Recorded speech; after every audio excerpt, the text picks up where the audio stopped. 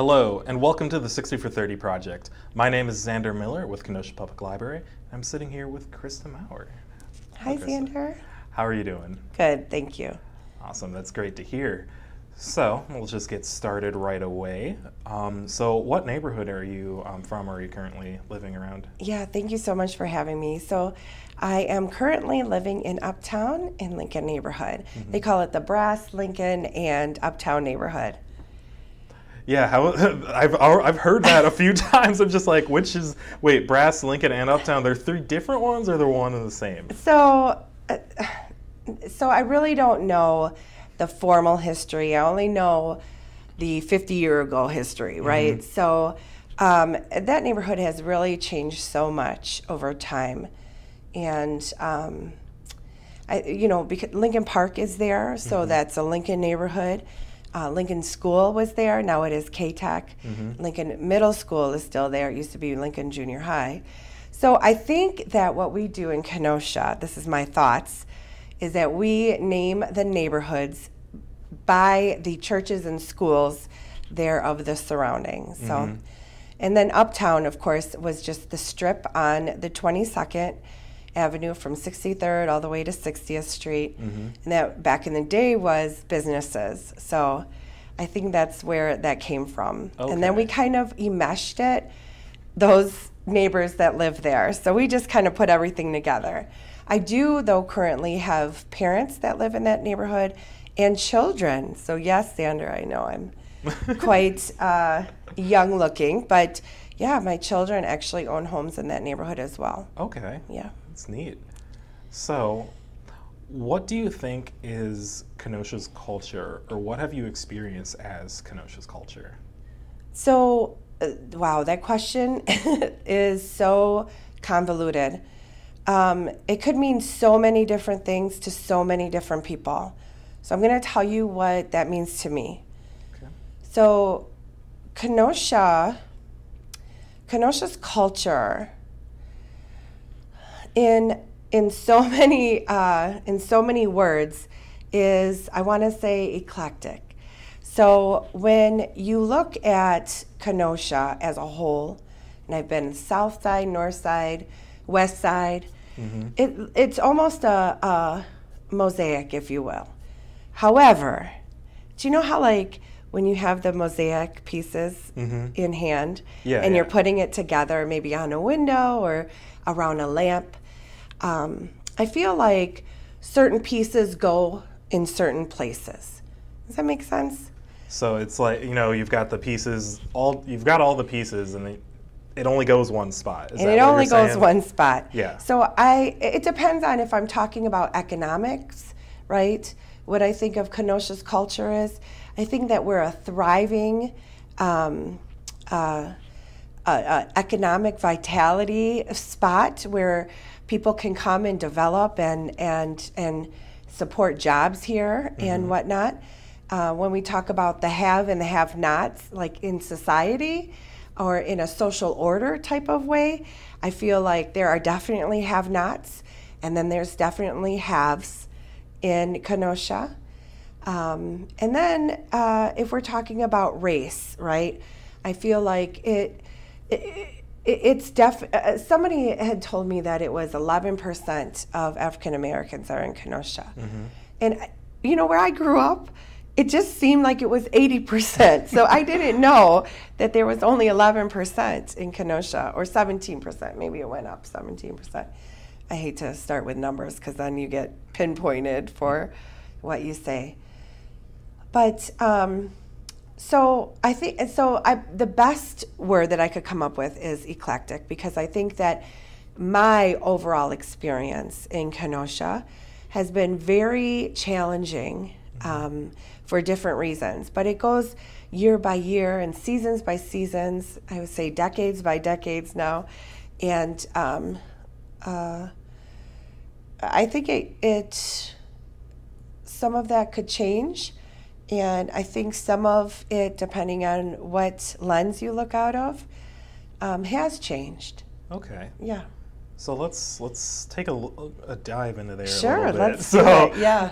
When you're, you know, when you're younger, um, even younger. Yeah, um, yeah. So how was how was it back then in terms of either economy, race, you know, social Yeah. hierarchy? How was that? So let me just tell you about my experience, okay? So I grew up over there in Uptown in Lincoln neighborhood, and my parents are Italian American, and um, my mother, here she has a story. I love it. She bought the house. Not she. Her father bought the house. Her father worked at Brass.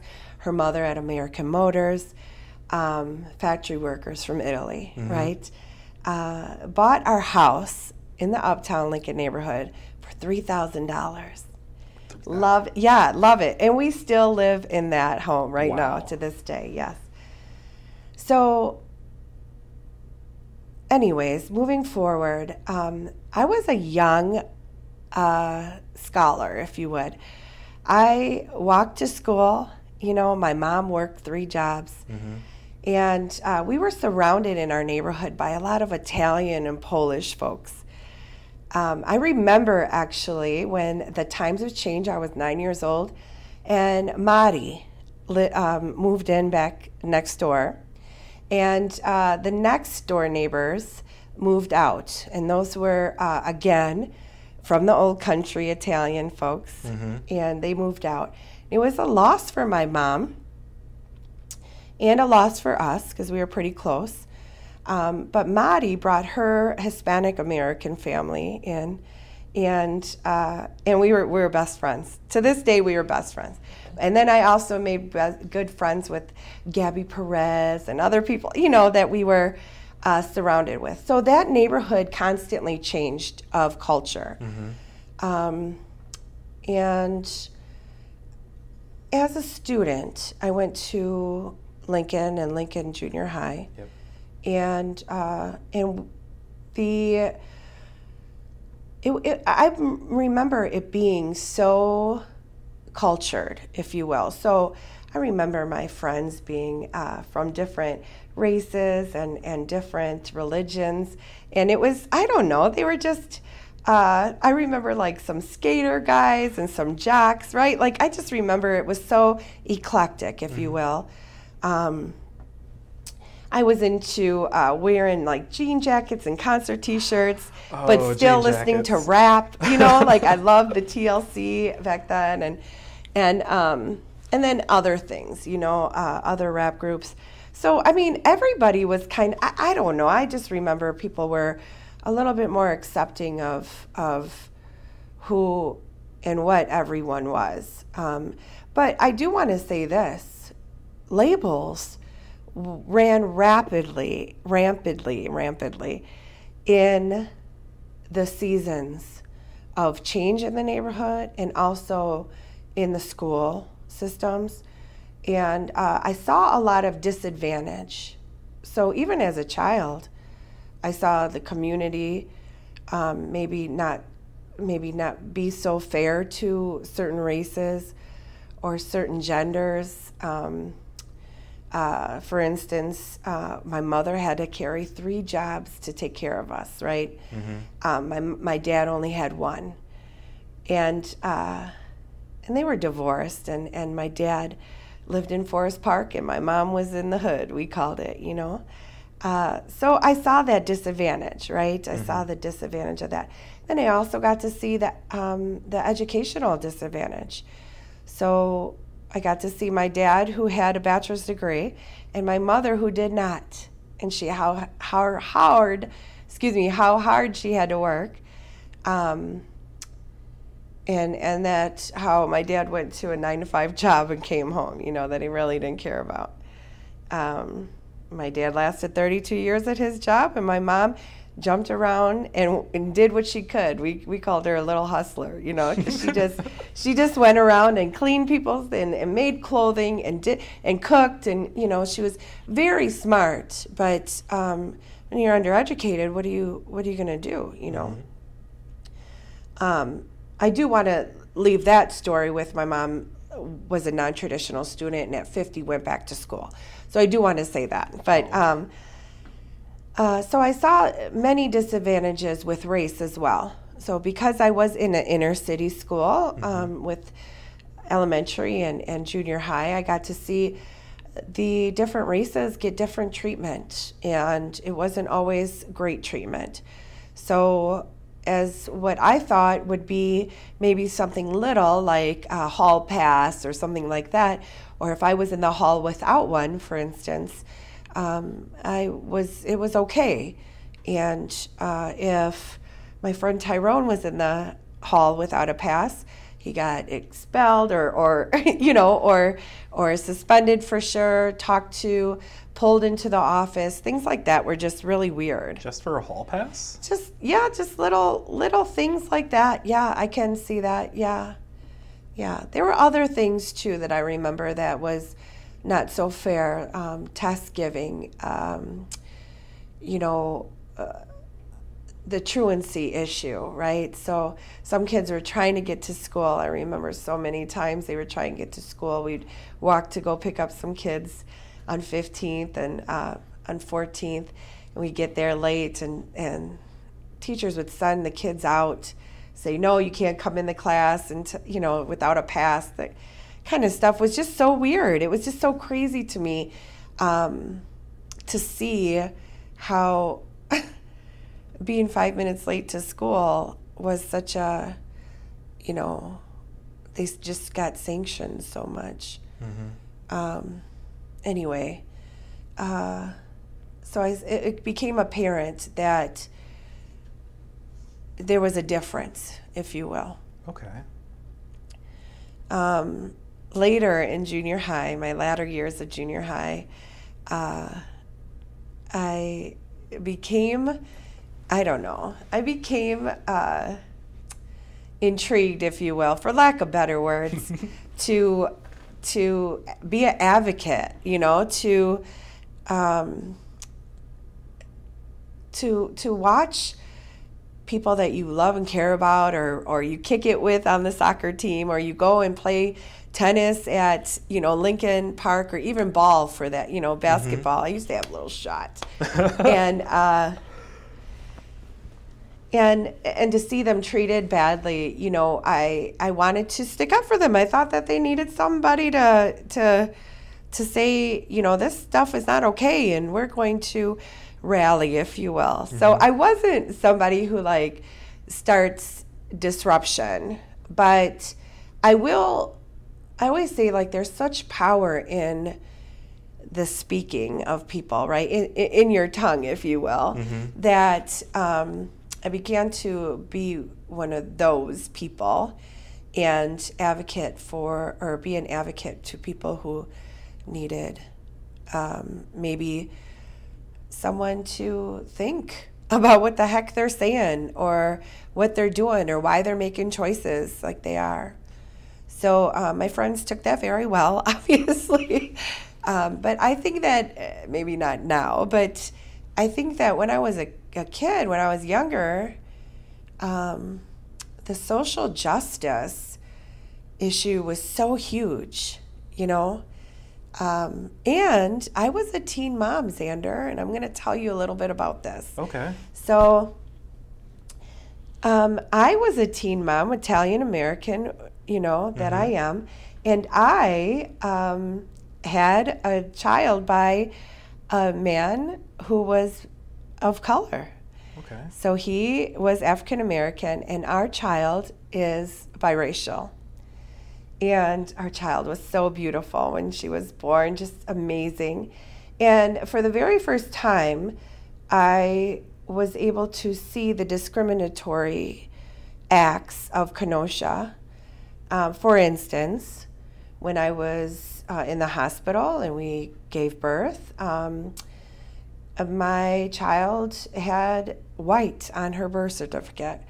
And I didn't really know anything about anything, you know, like uh, how they identified that. However, when I asked about that race and why it said white, because he's clearly not white, mm-hmm. you know, and how does this go, right? Because you kind of are. Um, the nurse and the doctor both said, no, this is you know, the mother's white, so that's what we're gonna put. They went. That's just all they used. That's all it There's was. no this biracial. Was, there was no biracial. There was no even black. Like I even heard from his side of the family that there was a one drop law. Like if you were black, you got, you know, this is what it was. If you had one drop that you were black on your birth certificate, and that was not the case, by the way. So, and that might have changed with decades, but, anyways, um, so yeah, so that was foreign uh, to me, and that's where it started. I think that's that's where, besides the fact of my friends and the neighborhood in which I lived and what, that's when I started really noticing that the labels came out over and over again.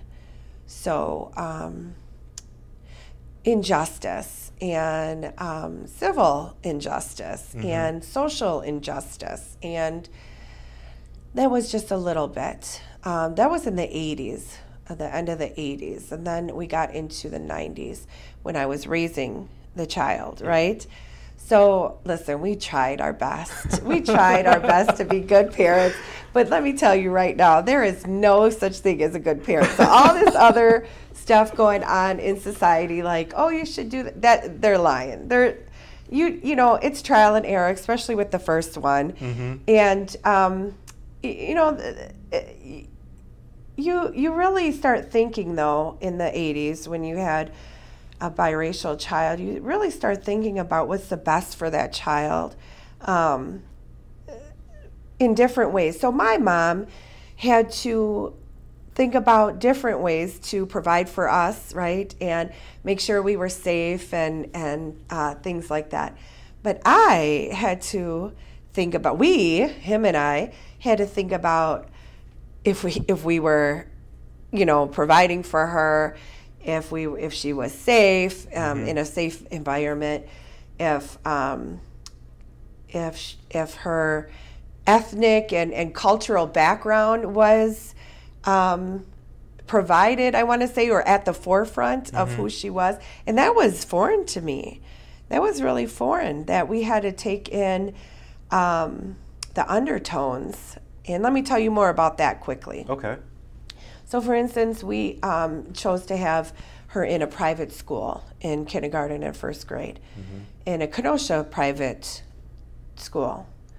And during that time, I sat in on a lesson and outside the door, just wondering. Um, uh, my daughter kept coming home and, and saying prior to this that um, they're calling her a brown girl at school. And yes, she was a brown girl, beautiful brown girl. And uh, yes, she was probably one of none. she was the only one in that school um, that was biracial or that uh, people have seen that were black. And I remember just, you know, walking. We didn't have any transportation. We were teen parents. So walked up there and, and just listened um, outside the door. And uh, her teacher was playing that scat music. Remember da da da da da da. Oh, I'm trying to Remember, remember, the it. scat man? Yeah. So they had like scat music, and um, she introduced that as part of the curriculum, which was normal, and and talking about um, how different musics and different what do you call it genres, right? Mm-hmm. Yep. Um, and one of the things that she blatantly said in front of the whole entire class was, This guy is brown like Nina.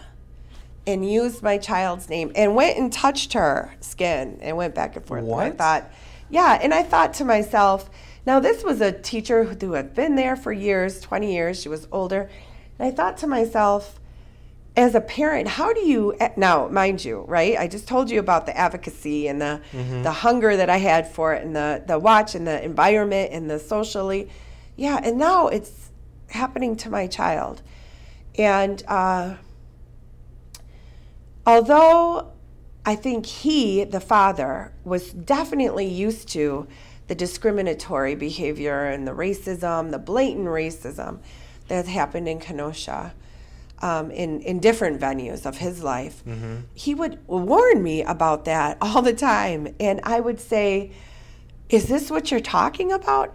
I didn't want to pretend like I knew what was going on, um, like most of us do, right? Most of the white culture pretends that we know exactly where you're going with that, right? We know exactly what you're going through or oh the compassion and really we have no idea Mm-hmm. we have no idea um, and it's okay to say that we don't have any idea by the way um,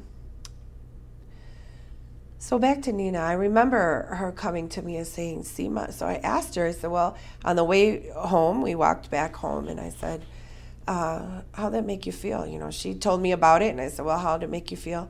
And she said, I don't know, mom. It just makes me feel weird. And I said, Yeah, those are, that's your insides. Those are your intuitions telling you that she shouldn't address you by your race. She's not, that's not acceptable. So we, I went up there the next day in the morning, talked to the principal. He thought that there was nothing, nothing to talk about. He was totally okay with um, the teacher pointing her, and I explained like just the sensitivity of child development and how this may go, and how this actually introduced a complex to my child, and that is not acceptable and or going to be tolerated um, because it was a private school um, we just got into an argument with the and and I left. So I just, you know, just took my kid out. It was no big deal. I put her in Lincoln uh, Elementary, and boy, was that something for her too. so she went to um, from you know this private school to Yeah. this uh, public. Um, so she came home and said, "Oh my goodness, they're doing this and doing that in school," and I'm like, "Oh my God, what are we gonna do?" So, um, anyways, uh, that was my first time of having to address something uh, other than, oh, her hair is good hair, or oh, she's so light. Are you sure he's his? okay. Oh, Um, yes. So now we're looking at illegitimacy or or um, legit, right? So uh, or being legit. So it was it was definitely opening for me to get on. I want to say the bus with um, uh, social justice because Yeah. of my children. And, and so how how was that those experiences help you know reach where you are now? Yeah, so those experiences have definitely, and, and to have just lived through them, I want to say, um, has definitely gave me a voice to the folks who maybe don't have a voice to say, or just have, um, you know, those experiences and internalize them. So there's a there's a dual you know edge here. There's so many things that i went into social work after i went into teaching. I want to make sure that i'm present during these and i did it on purpose. So anything that i have done in my life i've done on purpose. I've done uh, social work in inner cities, Chicago, San Antonio, Milwaukee, on purpose, because those are the discriminatory uh, laws that we come up against. But I can advocate on behalf of um, uh, a, a youth, and that was my specialty is youth, but um, the youth maybe that needed more advocacy, um, and not on, on a lawyer point of view, but as you know, as some type of commonality on a social level. Okay. Um, so I think it's it's given me it's it's raised some concerns, and it's given me some go, if you will, some energy to um, stand up for what's wrong, and and also come up with a a solution to what we can do. So putting systems in place, programming in in uh, in the error part, if you will, um, identifying the needs, and then also coaching, teaching, training, guiding the youth that are going through this that definitely do not need to listen to society and the tags and name given to them, right? So walking in your uniqueness and the authenticity of the talents and skills that you have and looking inner and not outer and things like that. However how do you how do you change that right? So that all sounds great but how do you change that um, in society so you help people get their voice right? So you you help a person like i uh, am a person like me. I help youth start younger and um, I helped them get their voice, and and and it started with social skills. First, we had to you know learn how to disagree appropriately and and and be emotionally um, detached from what was going on, which is the hardest thing in the world you could ever ask someone to do. Yeah. So you're being oppressed, and that's okay with you, and now you want me to have a voice. They used to say, Miss Mauer, what are you thinking? What are you doing? And I would say, let's role play. Let's do this. We can do this together. And I'm not sure, you know, I, it was like in the late 90s when different therapies came out and, and we were able to, especially in Milwaukee and Chicago, we were able to, you know, have kids um, attend therapy that way. But come on, let's be honest, you know, kids were not into that kind of stuff. So, so, you know, raising up others that would be that voice around them as well. I always call it a wraparound system. You know, if you can get a coach, a teacher, um, a pastor, anybody on your, you know, wavelength, I want to say. Yeah, it's like uh, having your own team. It's Yes, like, you have to have a own team. And if you think about it, Xander, look about, you know, even though you and I probably have different um, stories and different experiences about growing up here in Kenosha, I always felt like, you know, our neighborhood, no matter no matter what you did, wasn't good enough. Um, if you were a black male, no matter what you did. So if you um, worked at the brass, if you worked at American Motors, it was still you were stupid and you had no skills. Um, if you worked on cars, you had to be like that because you were on drugs. Um, if you sold shoes out of the trunk of your car, it was because you didn't have any other way of getting it. You know, you stole those shoes or something like that. What? You know what? I would tell people, what? This is, you know, this is a talent. This is a skill. This is wholesale. This is, this is a, a talent and skill of a mechanic, or this is a, you know. So it was very difficult. Um, meanwhile, uh, trying to turn the connotation. Yeah, it's it's part. It sounds like part of changing not only the perception of people and changing how they think, but then what you've worked with the kids especially is giving them their own way to make their own voice heard, so that you know same situation, but now there's confidence in that voice. That's right, and that's I think that's the greatest thing that um, when they see me now, because they're like thirty, I'm so old.